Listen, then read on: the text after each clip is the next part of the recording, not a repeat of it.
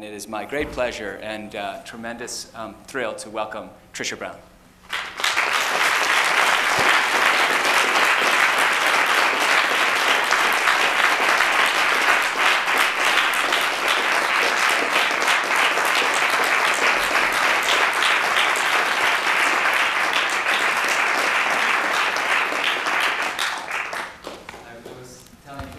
That um, this has been an eight-year hiatus, and we are so uh, pleased to have you back in the Twin Cities, especially with such a major new piece.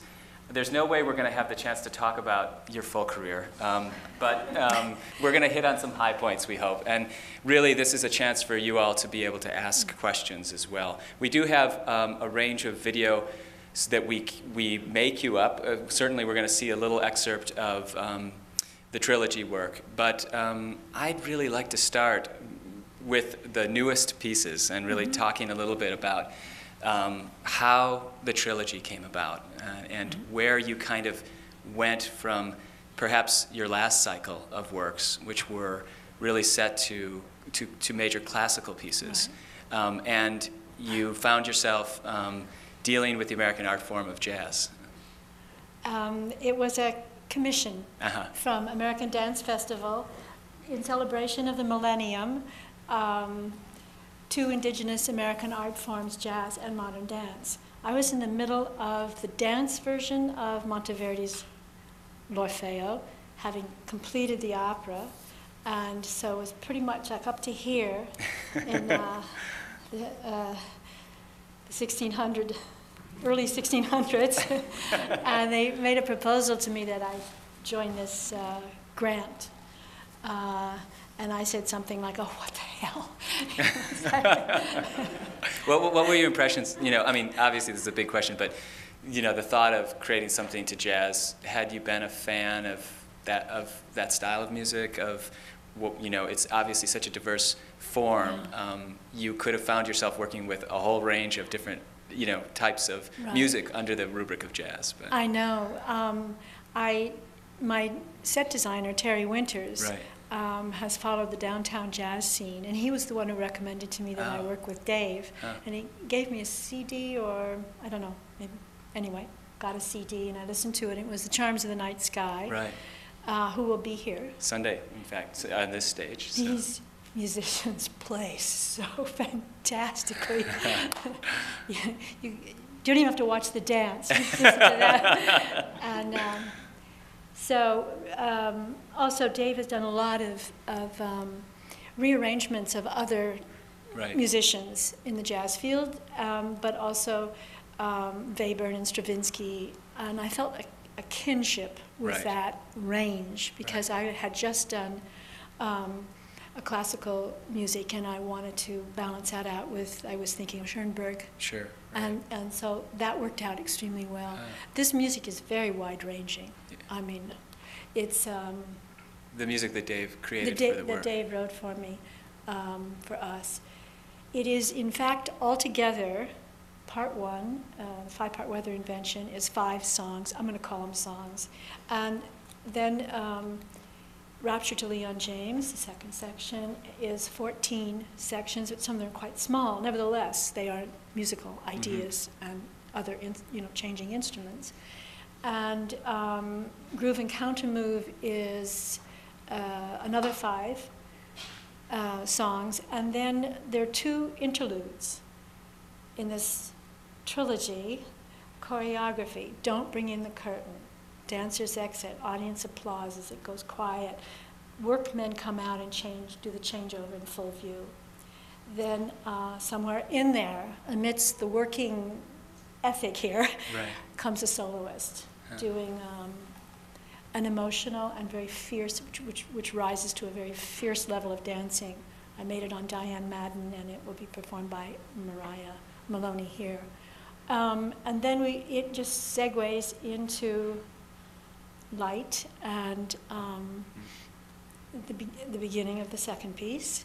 Uh, and then again, there's an interlude, which is um, uh, references my background of equipment pieces, um, my sheer love of of uh, task and movement, uh, which goes back to Anna Halprin, as you mentioned. Sure. And, um, uh, oh, it's funny. That's one thing jazz can do for you, you know. Right.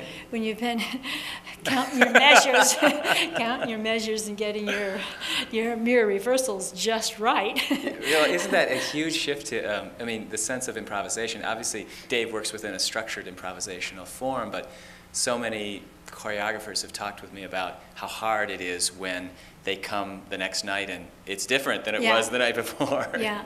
Is that, was that challenging? That happened to Dave and me day one of performance. I, I in um the first section there is a uh, a duet, which he titled Scherzo. Uh, has a little baroque beginning, da da da da da da da da da, da and then all hell breaks loose. and I had a everything that I made went beautifully with it because it was just the music is just so cacophonish that Right. it was more like a, you know, like a imported carpet or Right. something. and um, uh, and I worked with it for like two weeks, just trying. I wanted. There is a side of me that's quite serious, and another side that wanted to play with all of this. And Right. I really wanted to try on this short, and so I finally cracked the code. Huh.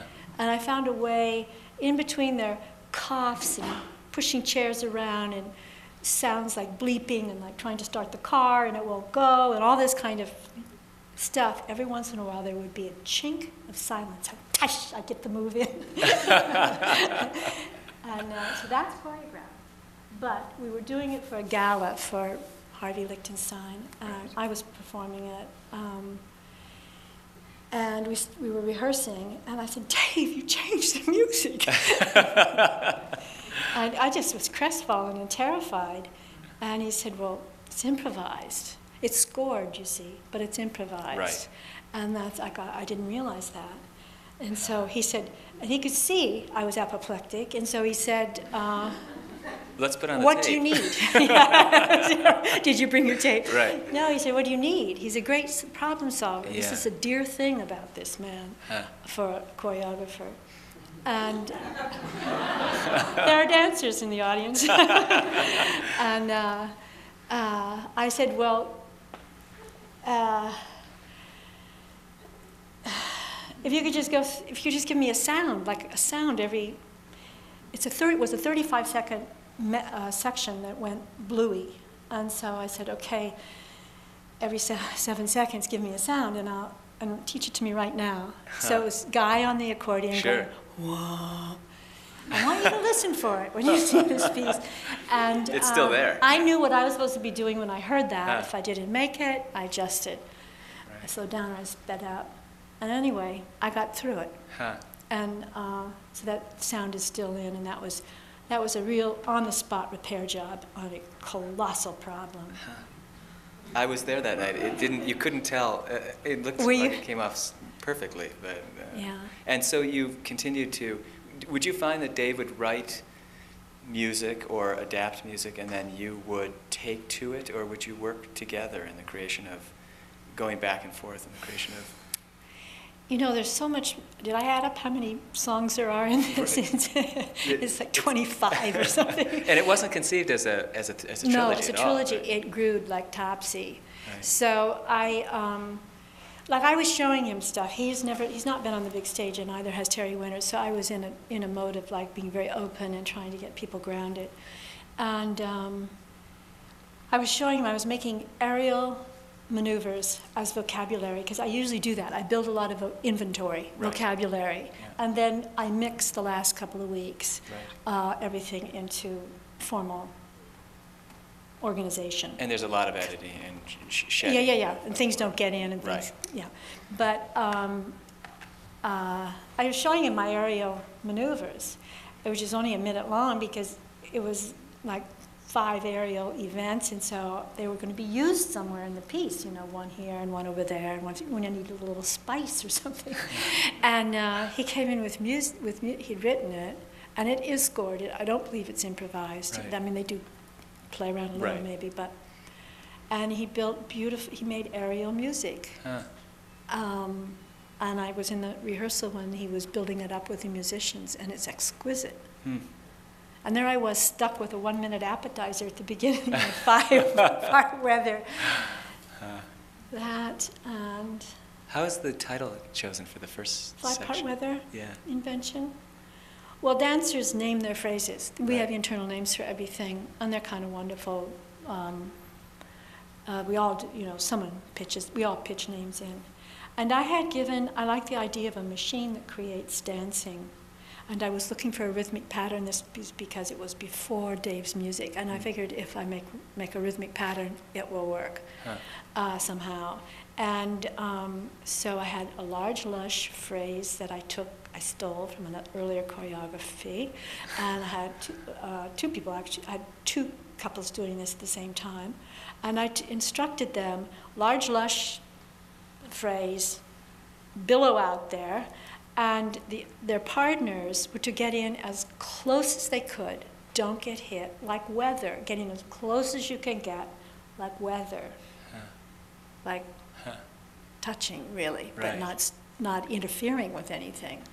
And so you'll, there is a phrase in which there's a fast asym- asymmetrical foot pattern because it has not come from a human mind, and uh, and a lot of bucking back and things like that, and no arms. Like an arm will go up for protection here and there. Right. Huh. So that's the weather phrase, and there are two Huh. of them, A and B. And how it plays out in the choreography is if you see the lush phrase, which you don't see until later, you see the weather phrase first. And you see the weather phrase with, in, with um, improvised arms by a leader in a section. Uh, it's, ca- it's, it's effect without the cause. Hmm. And those things are wonderful. Huh. And then when the B phrase comes back, it comes on a phrase, it comes not with its mother phrase, you know, not with the phrase that it came out of, but with something completely different. Right. So it's a different, it's a different kind of uh, space dodge, Hmm. space thing that happens. There's a section of the work um, that you've called, of the first section, um, the eel. Uh, The eel. where maybe we have a, a brief video excerpt that maybe we could show, but do you want to talk a little bit about before we look at it? Um, how you develop that section, where it comes in the piece? Uh, it comes early in five part weather uh, after um, Kathleen's improvisation. And I just want to tell you now because I may forget. We, Kathleen's improvisation was two minutes long. It's in the first aria of Dave's music. And um, we videotaped it, all of the performances. And then when we got to the last choreography, in the third choreography, we culled out of those uh, videotapes traveling phrases of high energy. And, and articulation. And um, all the dancers learned them. And so then that comes back, in, that is the very last section of the trilogy. Hmm. It's a, you know, Dave builds up a Cecil B. DeMille Right. crescendo. It's a great section. and that's the material we're using. That's a concept I like a lot, to take, to go back into the thematic material and take out of that, take it out in a new direction so that uh, you don't really recognize it, but it's, has a kinship and a coherence overall. And the eel section um, will, do you see that in other parts of the Yes, you do. well? The eel Yeah. comes out, it backs into the space. It's the, it's a weather phrase in the leg, in the legs, but it's in a canon of about mm, a move apart of nine people. Mm. So what happens is, since the head of the eel, which is downstage, is moving out this way and things are following, she cuts back and things are still coming around this way. So you get a line like this. That's how it got its name. And um, I loved it because the head goes into counterpoint with the tail. Hmm. And that just made, you know, that again is a kind of um, very uh, economic recycling of thematic material. I even got counterpoint out of it. then there's a second time it appears and it embellishes, and I, I threw in some aerial maneuvers. Uh, And then the third time it comes in, and I'll tell you this and then I will stop talking about it. Uh, it comes in in a U shape. You'll recognize this because the stage goes to um, silhouette. And the dancers had had their head like this and coming up like that, but now it's two heads, one far downstage, one as far they can be upstage. Here, I'll put it this way vertically. And then two, two, two, and we're nine, so then there's a ninth person. So what you'll see to read across to the upstage, this is a fun part of looking at patterns in choreography. Out goes these two. You might miss them, but you'll get these two if you do. Then you know where to look here. And then four. And it all comes out like kind of like that, the ninth person at far, far end. And then it, there's a, it, it, it continues, it gets into a big tangle, etc. and then it does its final, goes back and forth a few times, and it does its big exit, its exit. hmm. Let's, let's take a look and we'll, Yeah. s- we'll see. Should we pull these Sure. aside?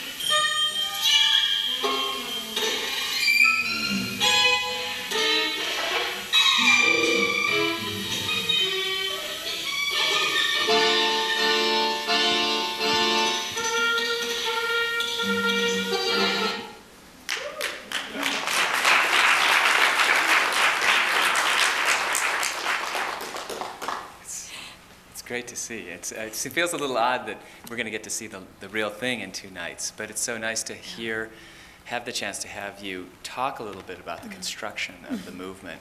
You've talked uh, in the past, I mean, one of the things that's always marked your work is this wonderful organic sort of fluidity that in your, in your dancers. Um, And I think it, my sense is it seems it comes from you. Um, how do you convey the, that kind of movement style that you've always had to, um, onto your onto your dancers? How do you do you look for people who have that capability, and or do you spend must spend months, if not years, with with people to you know to get that um, that essence? You know, actually, there are two people in this audience, I believe, who helped me figure out how to take my sequential, slippery isolation of moves, kind things which I believe they called them schnurkles. Judith and Elizabeth, are you here? Yeah, there's Elizabeth. Elizabeth Garren and Judith were in my company in the middle 70s, and um, I was. Um, it's naturally how I move, Right. and that's very difficult to pass on to someone else. It's like saying, "Okay, sneeze like I do," Right. and um, it's just not possible. And and it and uh, I, I had a feeling these are very uh, astute dancers. It was, in truth, I didn't really know how I danced because I used improvisation so much. I kind of pushed that kind that cognition of that capturing of what you're doing. I kind of pushed it aside so I could Do be it. a free spirit. Right. Yeah, do it. and um, uh, I, I, my, my image of them was that they were like jewelers with a jewel table, with a work table, and that they had little, little, little tiny hammers, and they were, they were making you know, these little facets and things because they could see that there's a lot of splash off of my movement, and so there's like kind of, you, you don't want to. They they had a regard for it, fortunately for me, and that it. Um, uh, even though I thought you could come up with something better than schnurkel. I think splash is better than schnurkel. But we get the broad strokes and the after, after images. And um, it built up from that over time. Uh, Well, we're thank you guys for helping do. that. Minneapolis power. The other thing that you've been quoted as saying is that you really look for dancers who have an appetite for moving off center. Can you, I mean, you see, I think one can see in the excerpt we saw too, Yeah. your interest in throw, in that, that um, throwing uh, curves um, to the dancers, to have Yeah. them Yeah. sort of, um, that surprise of being off Yeah. center. Um, Yeah. Could you describe, explain that a little more? Well, it, it's basically, it's like being willing to dance off center. It means that you have a, a degree of comfort doing that. Mm. And again, it probably just comes naturally, like, or unless you skied a lot or something that banked, if you understood movement that banked. Right. Um, and uh, to look like you're not falling, even though you were right on the edge of falling. Right. That was, a, that was um, very much in my vocabulary earlier on. It, Right. it, it, it continues, but um, uh, other things have joined in. S- Right. Other vocabulary has joined in since then, so it's not, it's not front and So center. central, yeah. yeah. We saw Terry Winter's beautiful set um, in the Mhm. background, and um, it sounded like you started with Terry as a collaborator on this piece. How do you how how did you work together, and, and how Mhm. did you what kind of instruction did you pass along, or inspiration did you give him um, in Mhm. the creation of the visual look of the work? Well, Terry's one of these just um, out of a canon, improvising abstractionist in painting. And um, uh, he's so talented, he can barely keep up with himself. uh, and I've known his work for a long time, and he's a friend. That is, that is a prerequisite in my collaborations, is that they be a friend, or I believe I could be friend, a friend of them. hmm I don't like um, people who are antagonistic. Um, s- although I've been in my share of antagonistic collaborations, it just seems to come up. and um, uh, Does it, do people stay friends uh, generally uh, through the Yeah, yeah, except for one, I lost one. But It it was really a good collaboration because I had to fight for my life. Hmm. So I appreciated it in the end very much. Let us go where we were. where With we- Terry Terry, uh, yeah. I, I felt a kinship to his painting the first time I saw it because they were, they were structures, like architectural structures, but, or, again, jewels or crystals or things like that. And I love structure, so, and he was working in black and white at that time. Okay, so I go to his, it's funny, both Dave and Terry Dave Douglas, the composer. yeah. M- Either they got together or separately on their own, they said, Is there a story in this? and so, duh. So, with Ter- Terry was showing me a series of these woodcuts he does on the computer, which is really an oxymoron in my estimation. I have no Right, idea how he does it, but that's what that's what these are. And um, uh, What does that mean? It- I don't know. He, he, he I'll write you a it. letter. Okay. You can have a seminar. Right, tells all. We'll Philip invite Terry tells out all- and he can Yeah, explain you it. do. yeah. Uh, he, he was showing me, uh, is a proliferation of paintings and work, just like Dave and his music. So he was showing me these pieces very quickly, da-da-da, da-da-da. And I stopped at one point and I said, this one, you only have your black lines um, ricocheting all over the place on one side of the page. If that was up on the wall, Terry, I would probably only do my dancing over on the floor on this side. So it would make some kind of a diagonal between the pictorial space and the uh, foreground. And he said, oh, God, that helps. That helps me. so uh, we just went on from there. Jennifer Tipton brought a lot to this project. And Jennifer Tipton was the lighting designer Yeah. for this work. Uh, She's, she's uh, tr- truly one of the geniuses. And um, uh, Terry gave her paint chips for the colors in Rapture, for the background. And um, of course, Jennifer knows that the paint chips are opaque and she's supposed to make it out of light. huh, So she was deeply challenged by this, and I guess people won't challenge her too much. She was really excited. And she made, she made those colors. Huh. But she was not only lighting the background, she was lighting the air we were dancing in. And that's just an interesting thought, isn't it? Hmm. Like one point she said, the air is yellow now. I just thought, oh, it is. it's so beautiful. but it worked with the costumes and, and the lighting, and the black and whiteness, and then when the second part goes into color, it all kind of, we did a, we hit a great unity. huh. There was a um, chapter that you recently wrote in the Robert Rauschenberg um, retrospective uh, catalog that was entitled "Collaboration: Life and Death in the Aesthetic Zone." Um, it, was. Uh, did that relate to?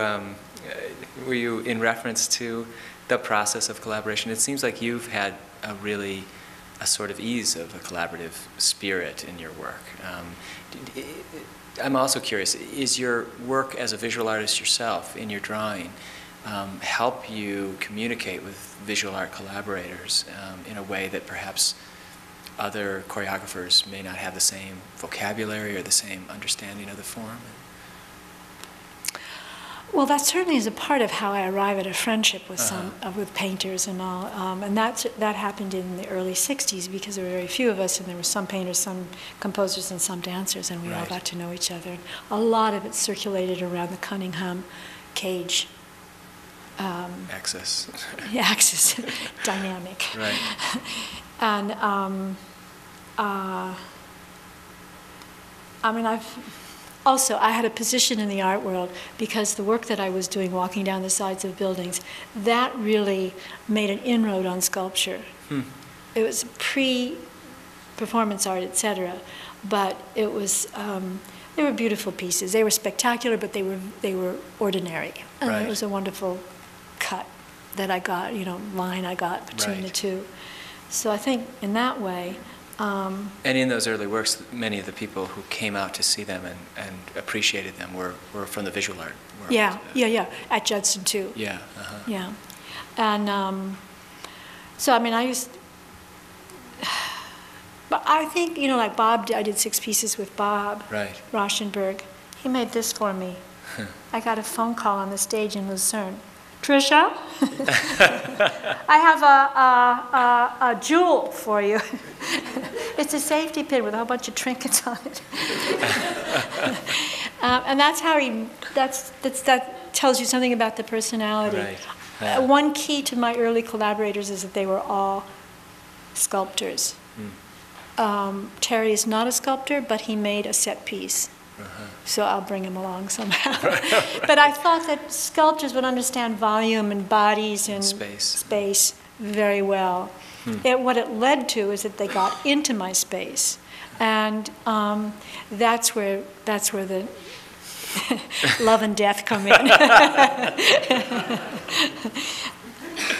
So the, um, after, after the first section that you developed, um, and you received a second commission to create Rapture, um, tell me about Leon James. Is that, uh, who, um, maybe we could just uh, talk about that title and, and what that, Right. where some of those reference points come from. Well, I got in the habit of, of doing research in, uh, when I was working in music and certainly in the operas, and um, studying everything all around it, you know, like the parents of the artists and the next generation of the artists, so like trying to get a span of ambiance, if I may. and um, so I, we- I wanted to do, I wanted to honor um, uh, jazz. Right. So I went, I, I, I did research on the Savoy Ballroom, and, which takes you back, I mean, certainly African American, it takes you back to Africa eventually. Right. And um, so I saw a lot of black and white footage from the Cat's Corner in the Savoy Ballroom. Huh. And um, I mean, just the most, The Cat's Corner was a section of the that's Savoy where the kings of dancing Huh, were huh. with their partners. I wondered, why are they always shooting just these 20 people? I know that the Savoy Ballroom is a block long. Why don't they spin the camera around? This was it. This was Ah. the creme de la creme. And you didn't tread there unless you knew what you were You couldn't get in there. Uh-huh. I mean, no one dared it. I think at some point there was a hullabaloo because a very good young dancer did crash it. But Huh. anyway, I don't know the details. I, I loved all this stuff. I loved Master Juba. Huh, He's right. 27. His name is uh, something Lane, and he danced. He danced downtown in the 1800 late 1800s. Irish jig, black, Right. coming up from the south. Quite an amazing. Uh, well, I guess they made tap dance, and it was really an amazing period. Yeah. And um, uh, and, a- and, and he danced, Master Juba danced once in the Barnum Bailey Museum, Circus Museum. Huh. And that's my building on Broadway. Oh, really? Wow. Huh. I used to think maybe I was a freak or something. This is how this karma came about. But I know now it was something else. But, um, so African line dances, people calling out.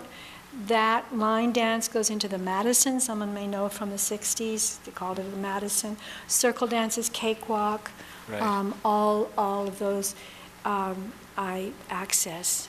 And Leon, when he dances on film, is he's just his face is just filled with joy. Hmm. It is so. His face looks like how I feel when I dance my best. Huh. So I was very drawn to him, but there were others that were fantastic dancers also. In that second section, it seems you make some spe- even specific references to styles of dance at that time. Yeah. Gently, you, you refer to them just kind of in passing almost, Right. but Lindy Yeah. Hop and other styles of, uh, of, of movement at that time. Um, uh, was that uh, well, unconscious? Lindy or a little, a little bit? Jitterbug a little. Right. Um, I had a very big job on Rapture. Dave, I think Dave was a little bit like he's a modern jazz musician. Right. I felt like swing was just a little.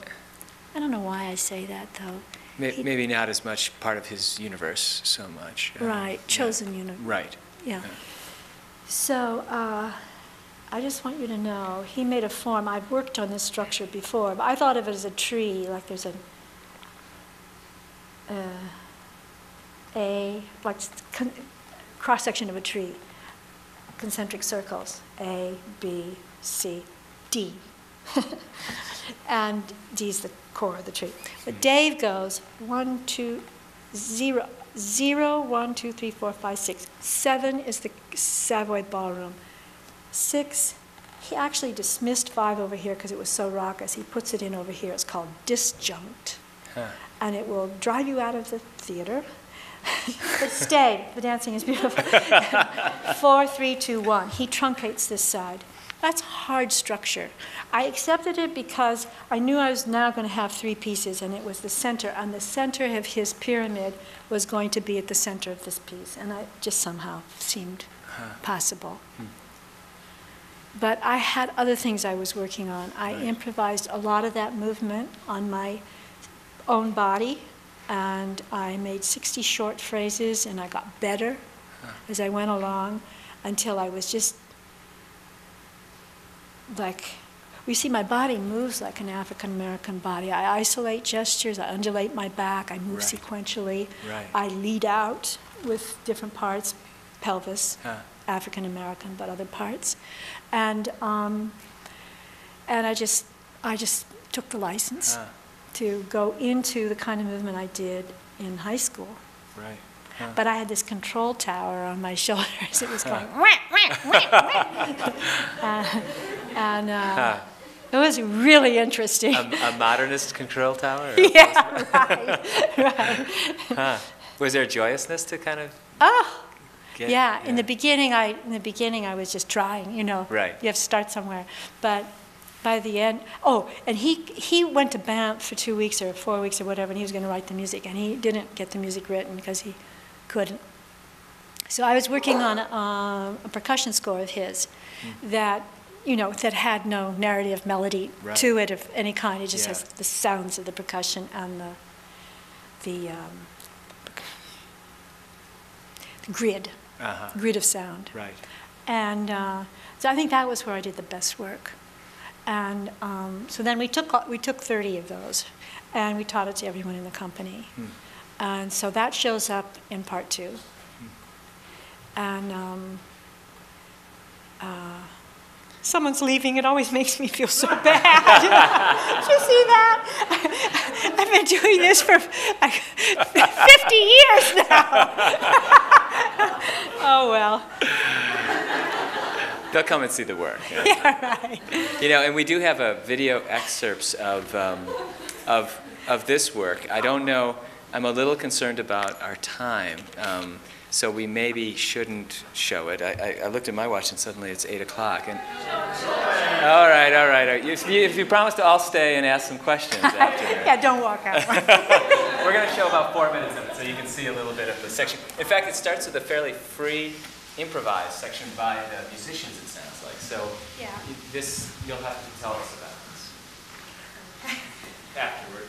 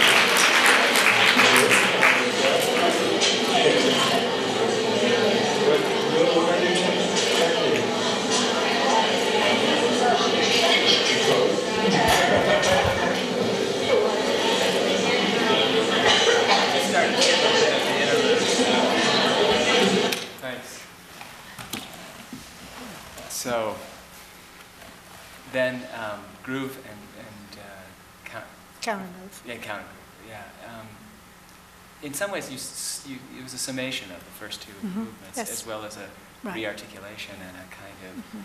um, enhancement of it. Um, Mhm. How did you come come about um, to create the final section? Well, I had um, the very first section, which is just delicious movement on two women, to a beautiful piece of music. I had been asking from that for that from day one, sort of like old-fashioned jazz, and and um, Dave came up with it at the um, premiere of part two. He said during the rehearsal, he said, "I want you to hear something," and they played it, and that was beautiful. Huh. So that's new material that had been passed along the line, didn't find a place in the first two pieces. Right. And um, Did he sense you were, you were hoping for something that he, that he, he was resisting um, providing up until that point? yeah, he was trying, I think. Right, But yeah. it just didn't come. Uh, But then it, that's a funny thing, like you said, I just wrote it in my head last night in the hotel room. It's kind of wonderful to work with a composer who is that uh, uh, prolific or, Right. yeah, Yeah. prodigious, yeah. He has, Dave Douglas has, I think, seven or not eight or nine ensemble, different ensembles that Yes, are operating at any I given know. time. Always, always sprouting a new one Yeah. also. You, you had said that he choreographs the mus- musicians. Uh-huh. Um, Yeah. How, how did, how did you mean? Well, he, he put The Charms of the Night Sky Right. are in part one. And that's, um, that's a Dave trumpet, Greg Cohen on double bass, Guy Guy- Klucevsek on accordion, and a Mark Feldman on violin. And that's, that's the first quartet you hear. They play together a lot. For, for the transition in and out of the pit uh, of the interlude, you know, everything's changing over on stage. He changes over the musicians and he introduces percussion, which is Susie Ibarra. And she has beautiful instruments, as you know. Who did a wonderful evening here last year, just her Did own she? music. Yeah. Did she? Yeah. I have a couple of her CDs. Yeah, she's Yeah. great.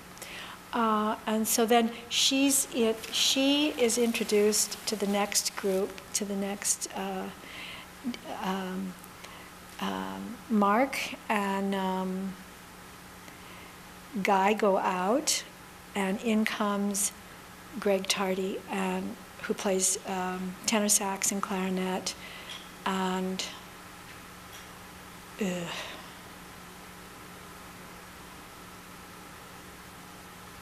Third, mus- third musician comes in as well? Yeah. Or, uh, Maybe Greg? huh? I want to get this right, so. So I've already described the first quartet and the percussion, and then the trumpet and the bass stay, and the tenor sax and the percussion come in. And then, um, and then everyone is together in part three. And uh, there's a violin for the interlude. Hmm. And, um, The interlude between the second and Between third two and parts, three. yeah. yeah. At one point, you had said, the, f- the, I believe, the end of the final section, you felt like it was allowing um, the, the, the opening of the gates to letting the racehorses out um, in terms of your company. Is that Yeah. the freedom of movement that, or the sheer exuberance of the movement vocabulary that you allowed at that point, or? Uh, You know, when we did the uh, L'Orfeo, I, in order to win those awards on that opera, I had to, I, I had to do a lot of work on my dancers, and um, they became teachers to the singers. They grounded the singers, and the Mm. singers really took act, took, took action on the stage. It was Mm. quite, quite a beautiful thing to see. But my dancers. Uh, didn't get to get their yayas out one Right. single time. and they were just like always like, you know, shepherding a singer and, uh, and so I heard it for like a year. huh. I want to dance, I want to dance. I wanna dance. so I So you were referring to this whole, the So- whole trilogy, really? yeah. Yeah, So that I just was ready to, you Huh. know, I was ready to move out too into movement. right. Yeah. No, I was speaking of Orfeo first in that whole Right. process. But you've enjoyed your work in the opera as well. It seems I've like you've adored had it. Great I've success. adored it. Huh. seems like a vastly different proposition to direct um, an opera than it is to create a, uh, an evening of dance or. It is. Yeah. I mean, there's, there are all the things I eschewed as a young Right. thing. Those things we resist reminded you, coming back to. right. We're coming full circle here with character, psychology, emotion, Virtuosity. virtuosity, and narrative. Never say never. And ain't over till it's over. Right. right. Well, I, you know, I do really want to make sure that we have a chance for your questions. I have a lot more of my own questions, so if we run out of any of yours, I'll pop in with mine. But maybe we could bring the house lights up a little bit and see um, who would, who ha- who would like to ask anything.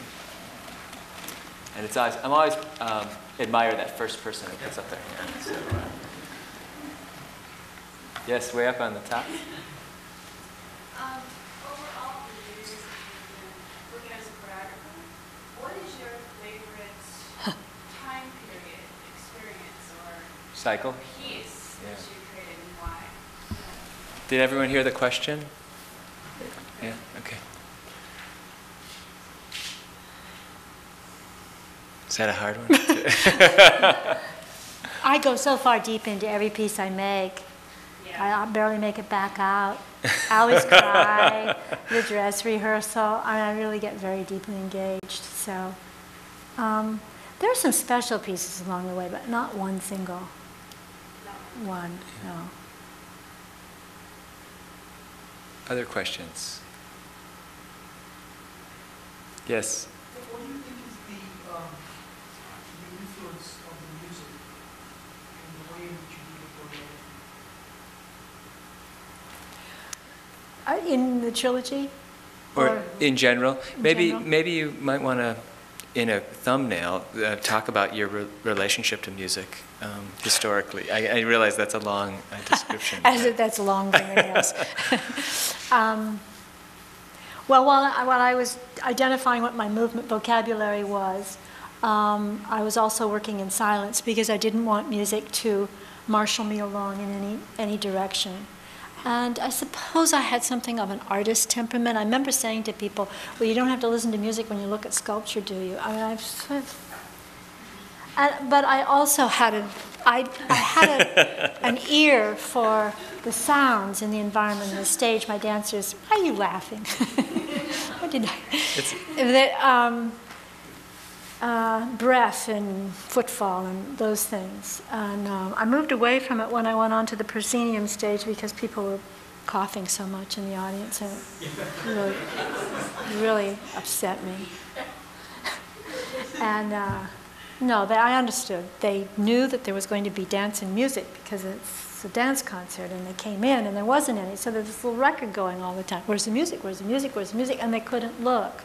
So I thought I should I should help these people to look, to see, to feel, and so I put music with my work, and. Uh, I started with Bob Ashley, then I went to Laurie Anderson. So I started the downtown spirit of making things. When I knew I wanted to make an direct an opera, big difference between choreographing an opera and directing an opera.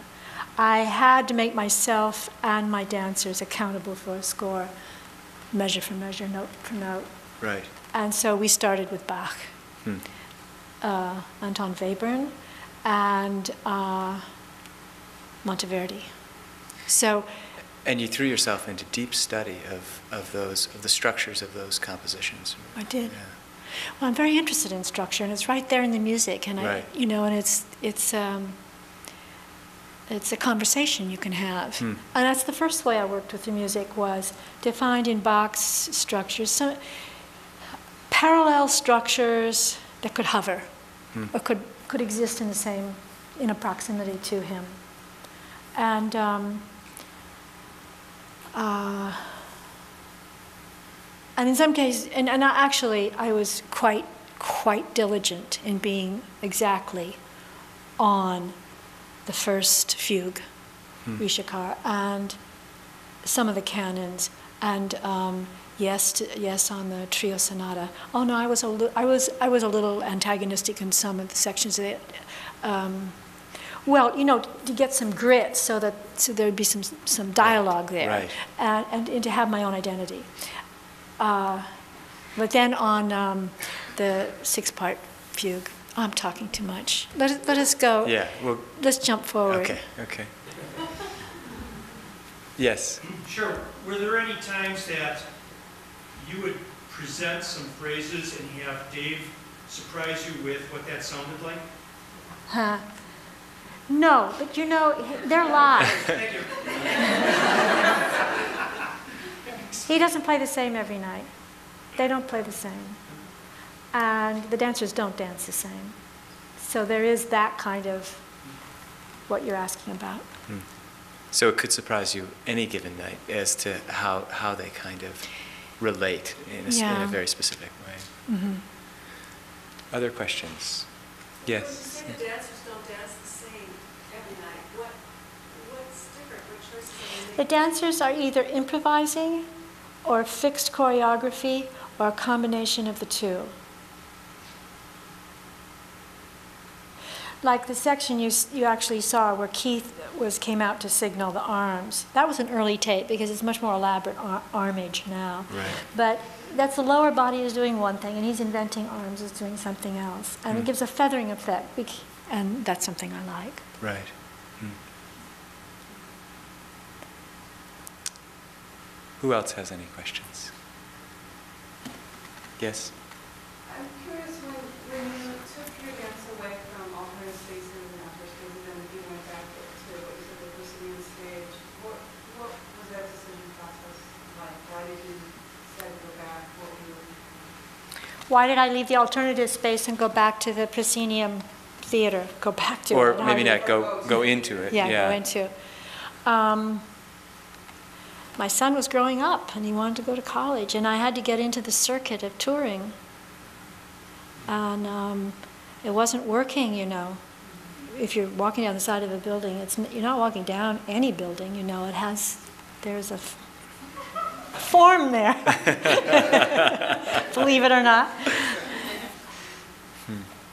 Have you found yourself enjoying um, uh, the stage, the, the, fr- the frame of the stage, the, the, the structure of, of, that, of that theatrical space? I love it. Yeah, yeah. At first, I was cranky, but Right. I found my way. Yeah. Yes. So the work of the Judson was political in that way, but how do you see this as, like, after all the creative process and the collaboration, what happens after the piece is done? and Where is its place in this? What is its after effect? What was just the last half What sentence? is its after effect? What is the after effect of this work, mm-hmm. of my work? Yeah, like the work of the Judson had a political place, it had, it made a statement, so to speak. How do you see that as changing now that it's on stage? and- Well, it's in, it's in advancing the form. Um, People in France say that no one can go back now in making operas without the dancers, without the singers moving. It's a benchmark in the history of opera. They don't say wonderful things like that in America, but they do, they do there. And um, uh, that changed something. For, uh, that's a rebellious act. That's a very well done rebellious act. It's one that matters. And um,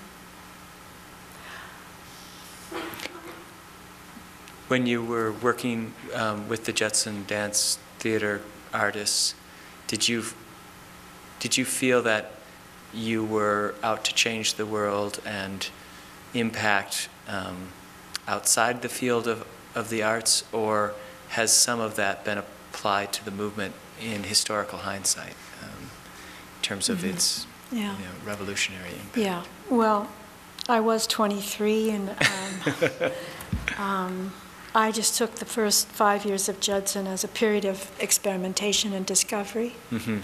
and how it resonated through through the rest of, you know, through the audiences and beyond. I really didn't have an idea how that was. Right. did you see it as part of the zeitgeist of what was happening in the 60s with the civil rights movement, with social upheaval in general, and, and um, the, the spirit of experimentation, obviously? And questioning Uh-huh, the given. Mhm. Right. Yeah.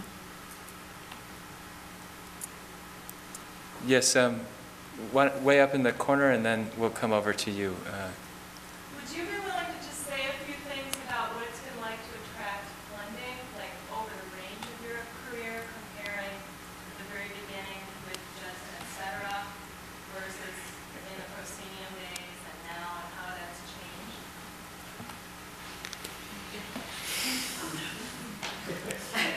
I, I could talk about funding, but, Dale could talk about that. right. Um,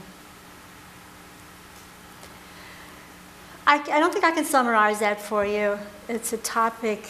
I, I, I will say one thing about it that I think is useful instead of just hearing my, my, li- my experience. And that is until I got involved in the business aspect of my company, it, I, things did not really work. You can have excellent choreography and no business, and you won't make the long range. And you can have excellent business in PR and so-so choreography, and you will have a short-term life, but it will not make the long range. I think you need to have both. Hmm. And there's this notion, someone's going to come in and help me. I, they haven't come yet. so I mean, it really has to come. I think an institution may be different, but if you're an independent artist, choreographer, it has to come from that person.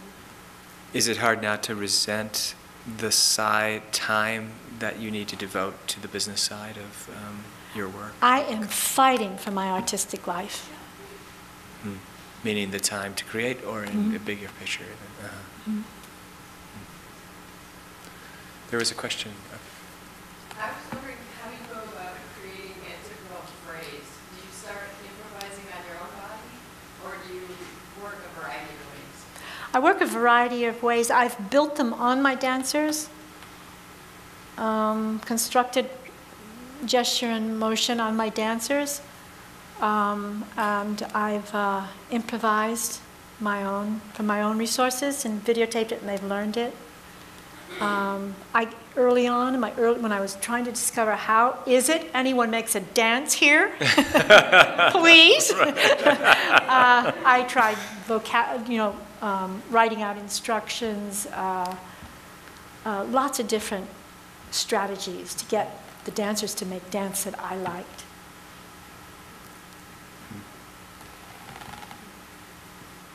Other questions? I have a, I have to ask you about how you're feeling about the, the state. Um, I know it's, it's one of these standard questions, but the state of dance in general and where it's heading, how, au- what's your experiences of audiences in, in the States, for instance, um, and whether you're generally hopeful uh, for the future of the form and um, its receptivity by, by audiences, especially for innovative work. Well, in truth, I'm a little down um, from 9 11, from the implosion of that, those two architectures, and from the implosion of Enron. I feel like it's a really, a uh, what is my voice? Right. What effect can I have on any of this? Every, I mean, uh, I, um, we have strong supporters in, in different places in this country, people who believe in the work and love it and bring us back. And, um, uh, but it's, we don't have as much um, booking in the US as we still do in Europe.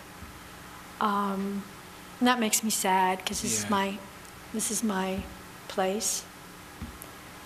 I was offered a centre in uh, Montpellier years ago, and I couldn't. My dancers weren't weren't ready to do something like that, so I turned it down. Hmm. So, um, which I think is good, but um, I fear for independent uh, choreographers, for, for mid-career choreographers who have always been endangered.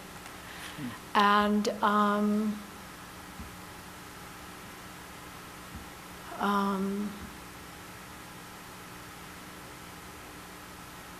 did I come close to answering Yes, any you of did. that? It, it will be, I'm wondering how the, and it may be not, uh, it may be a rhetorical question, but how the tragedies of September 11th and the ongoing after effects will impact creative work uh, by artists uh, now and in the coming couple of years. Um, Yeah, I think, you know, it's like the best and the worst of times. Right. Creatively, it's there, it's all there. But I know on, on, you know, I was scheduled to be on a stage between the two Twin Towers at 9 a.m. on 9/11. I heard that. And so, and I live 15 blocks, 20 blocks from there, so we, we went through the war zone of that. Uptown had a different experience. Right. Um, um, I stayed working. I'm going to keep working. You know, all my life, whenever things have been really bad, I've just gone into, I just say, Trisha, go in the studio and get to work. That's been my salvation. It didn't work this time because it's the body that has to go in, and the body just got, the body psyche just got so devastated by that. Right. And so, but I was working on working on a new thing of drawing. I'm making a museum piece with large pieces of paper and charcoal and pastel in my hands, and the Winterreise is playing on the music, and I get wigged out at the edge of this huge piece of paper, and I just dive into it and I make a drawing. And they're, they're, they turn out to be good drawings, and I love them very much. That all came up in October, so go, go figure, you know. Right. And then, and then, but on that Friday anthrax, I lost it. I stayed in. I said, okay. My assistant is on her cell phone calling everyone she knows, and I'm in calling the office and say, get, get- send the staff home. And I said, we're going to stay here and work. You can just see it in the drawings that they. Huh. The first one is strong, the second one is a little unfocused, and the third one is not worth. You know, you just tear it up right away. And that is my answer. Right. I made a quartet also, which I'd started last April, and it's to music by Salvatore Sciarrino, who's a very brilliant composer. He did the second opera I did. He wrote that. Right. And the music is, uh, the title is Geometry of Crying because that's in the music. We were talking one day, and I said, I hear the structure, but emotion is coming in, and I said, it's like this geometry, and he said, and then there's the crying. So that's how I got its title. It's, um, it goes right on into emotion. I was thinking of sculpture, of double sculptures, two bodies, of one body emerging from the other body. Uh, um, just kind of amazing partnering, coupling, Hmm. and um, and prime something primal about it. Hmm. Uh, and I pushed it. Once I saw that that I had the template for how to go forward, so I I, I pushed for the for the awe, the strangeness in things, Hmm. and um, it's a tender choreography, and I feel very tenderly towards it. And so that's maybe, I mean, that's the best I can tell you about my experience in making art through this. I think uh, amongst my peers and pals in New York, there is a kind of a emotional flatness. It's not all the time. Right. People, you forget. I mean, you know, you have fun, but Right. but also there's something different. There's a different Right. uh, beingness. I opened the book um, yesterday of the uh, about your work. The drawings came out from France, and there's the full-page double-spread picture of um, group primary accumulation, which was a work that you did in Loring Park here in 1974. And above you, rising above, this is a piece that takes place in uh, in water, sometimes in boats and in rafts, and uh, um, and the twin towers were, were we were doing it right in front of the World Yes. Trade Towers. Uh, Yes. This is in 1973 Yeah. Three or 4. hmm We have time for one last question, if anyone um, still has one. Uh, Yes? I was wondering if you had an answers to one of the audiences who you have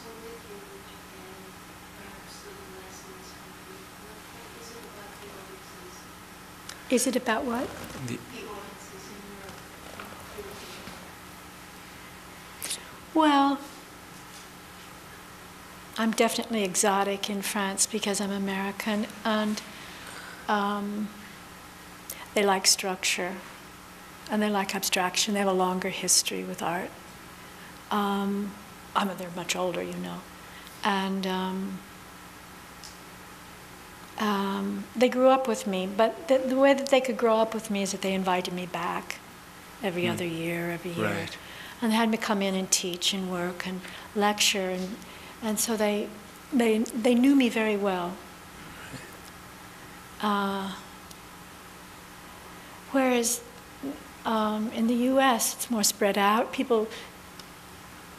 I work in cycles, and I think some people locked onto the earlier cycles and thought, "Oh, I don't want to see someone on a raft." They don't know that this exists. Um, Right. tactily. They don't know it because they don't bring us in. And I think by the time people did uh, um, find uh, an awareness of this work, our prices are high. We're a bigger company, a bigger organization, more staff has to travel with us. So they didn't grow with us, you see.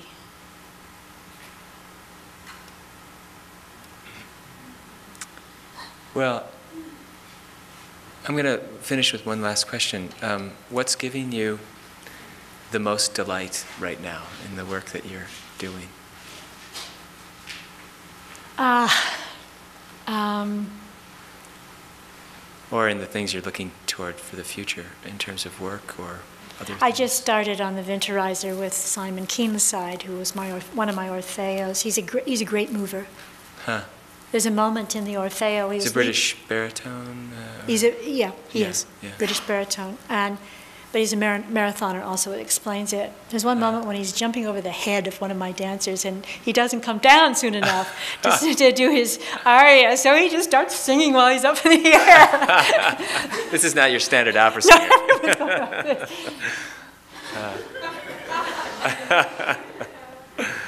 Uh, so I'm looking forward because the opera system is it's a big industry and they don't really believe in process and development and Right. coming again with the same you know growing the the dancers or singer up with you so that you get onto the same uh, a communication of language and ideas, a deeper, the deep, you keep going deeper into Right. possibilities. Um, they just, they're free agents and they move around and they're like, they're, they slap things together. And, Right. I mean, I, I will say that the, the, they gave us young singers for the Orfeo. They weren't set in their ways and they weren't divas yet.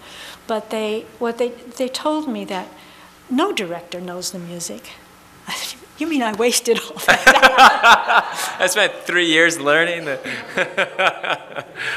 huh. Yeah, and we would have discussions about the role and things. So it was really very, that was very nice. So I get to work again with Simon, and I know his capability. That, and I'm looking forward to that. Um, I'm looking forward to this museum piece because it, Yeah. I felt somewhat fragmented. This is confession time. Uh, between um, my visual art, I cannot do all three of them each day, be it meetings at, at the company and warm up, keep myself in shape. It, it doesn't exist this time. It's the amount of time in a day. So if I'm working on a choreography, I feel so sorry for my draw ta- drawing table. and if I'm overdrawing, I feel so guilty because I'm not working on the music. So I just put them all together, and I think it will be integrating for me. And I think that that's a hint in what's in, in this new quar- quartet. Right. Mm-hmm. Well, I want to thank you all for coming and especially thank Trisha Brown for being with us tonight. It's been a pleasure.